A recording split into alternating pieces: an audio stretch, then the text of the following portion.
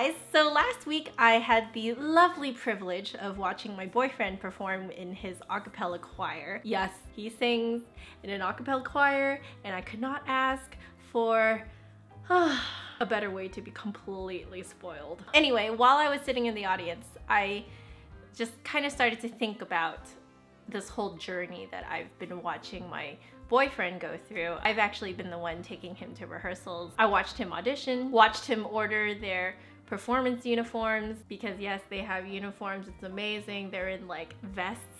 Huh. I have a thing for vests. So yeah, seeing my boyfriend in a vest was quite the treat for me. I was outside of the audition room when he was auditioning. He didn't really know what to prepare for this audition, so he just sang whatever came to mind, and the song that came to mind was My Bonnie Lies Over the Ocean. I'm hearing him sing this through the door. If it wasn't such a professional setting, I was so tempted to just bust the door open and be like, who this bunny?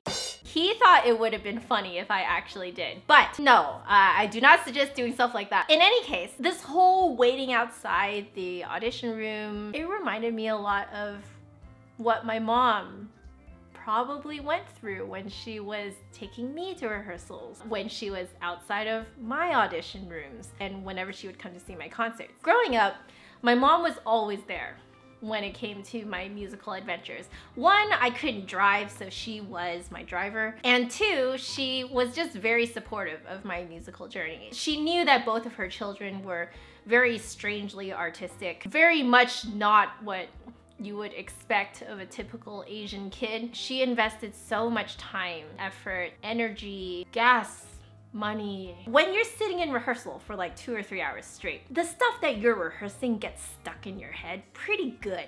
And so I'm just kind of mindlessly humming these tunes in the car on the way home. And my mom would hear them every single week to the point that she memorized these tunes that I was humming. And so she always thought it was really funny when she would hear those tunes finally in concert. She'll be like, oh my gosh, I know that tune now I know where it fits in in the big picture. John did the same thing. Whenever I take him home from rehearsal, he's always humming and singing his parts or even other people's parts because they've been rehearsing for like three hours. Now, like even I'm just like humming the, the tunes and I've memorized it. So it's kind of interesting. Like now I know why my mom was able to memorize the tunes I was humming. It's because it's happening every single week. I get it now. Their experience actually becomes part of your experience too, which is really interesting. I, I never really thought of my mom being so directly involved in my musical journey that my musical journey would you know, become part of hers too. The other thing that I find really interesting is that I remember now, now that I'm taking John to rehearsals, the reality is that when you're the musician, you don't actually always want to go to rehearsal. Sometimes you would rather just be at home vegging. After the rehearsal, you always know that it was worth it. But it's that like half an hour to an hour before rehearsal when you really don't want to go because you just, you really don't want to work basically. It's a weird conflicting thing inside of you that I think most people don't necessarily realize that a lot of musicians are like this. And it's funny because I watched my boyfriend go through this. I found that I couldn't really say things like, oh, chin up, you'll be fine, you can do it. And I also found myself making sure I didn't say things like, oh, you signed up for this, don't you want to go if you signed up for this? Putting that guilt factor on the person that you are supporting to do this thing, it doesn't help. And my mom never did that to me. I'm only realizing now that she must have thought that before, but she chose not to say it. She could have said it to me and she would have been right, but she knew that guilt tripping me like that into going to rehearsal,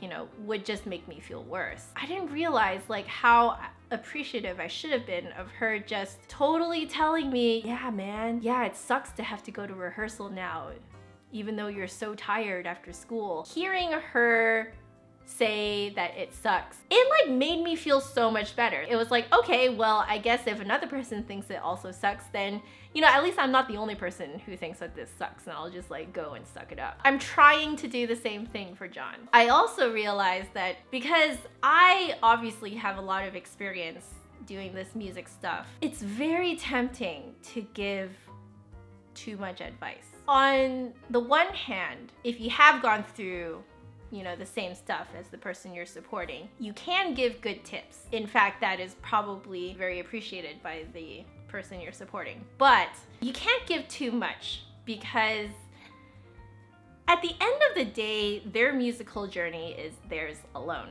I've said that before in a couple of other videos, and I maintain that that is one of my biggest convictions is that you have to let people walk their own journey. For example, there was this whole uniform thing that John had to order. I was thinking that he should probably have gotten the measurements and ordering it and stuff like that way earlier. He didn't seem worried about it, so I was like, you know, why would I be worried about his uniform? If he's not worried about it. So I just let it go. Turns out when we did measure him, we actually got one of the measurements wrong for his sleeve length. We were actually really lucky that the people within the group who order the uniforms, they actually order a lot of different sizes. So just in case one doesn't fit you, you can actually quickly exchange for a different size. So he got to do that. Not only that, they actually had a pair of new pants on the day of the concert. And they deemed John's pants unworthy of the stage because they were way too old. So they actually made him change into new pants and they just simply added that to his order. You know, for me, I now realize that all of my performances, I just have to go shopping for my own black clothes, my concert black clothes. And I realize now that I am not familiar with how these groups with performance uniforms actually work. As the support, you may think that you know how things work because you've been through similar things, but the fact remains that you are not in that particular group. Therefore, you do not actually completely know how that group is run. I only kind of asked out of curiosity once or twice about the uniform. You have to be careful how you ask too, because you have to ask in a way where you're making sure that the other person knows that you're just curious as to how it works, but that you trust and you know that they will take care of things by themselves. This is something that I just learned and I wanted to pass it on to you guys. For all of you parents who are watching your children and go through all of this musical stuff and you're taking them to rehearsals, competitions, festivals, concerts. While this may be your child that you are raising, that you are teaching, I would encourage you to let them experience their musical journey on their own without you solving their problems for them. I can't even express how appreciative I am of my mom doing exactly that for me. Go figure. She is a pianist and she never taught me any music. She told me that she is just my support rather than her teaching me along with another teacher teaching me because she was very concerned that her style of teaching and what she teaches may not be in line with my actual teacher. She kept that line very distinct. She never crossed that boundary and I am so freaking amazed at that, really. That's the thing is that I think a lot of parents kind of walk into this whole thing with your child going into music without really realizing that you can actually come in conflict with your child's teacher without you hardly ever talking to the teacher actually. It puts your child in a tough place. For the child it's like well who do you please right? Because you are still under the authority of your parents, but you're also under the authority of your teacher.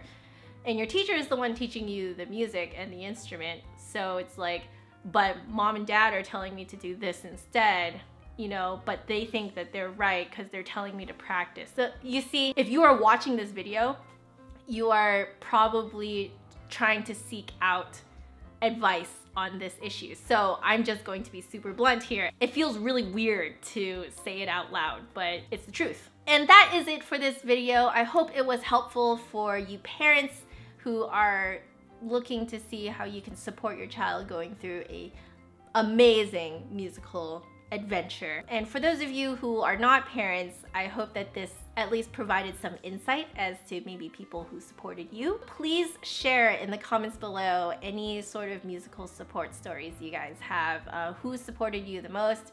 Who didn't support you? I don't care let me know in the comments below. And as usual, if you guys like this video, make sure you give me a big thumbs up and hit subscribe for new videos every Saturday. My last video is over there. And if you want to catch me during the week, my social media network stuffs are down there. But otherwise, I will see you guys next week. Bye. Holy cow, it is very bright. Oh my god, the sun is like in, oh my gosh, look at, I look, all look, oh, I'm so holy.